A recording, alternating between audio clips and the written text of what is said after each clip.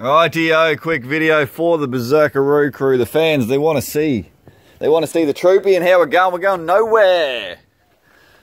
Like a child's letter to God.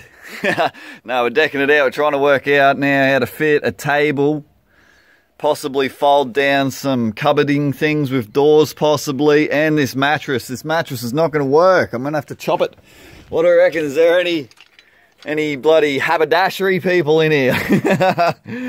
Help me. Is this going to work or am I just going to start a fire or what? Let me know in the chat box and we'll see you shortly.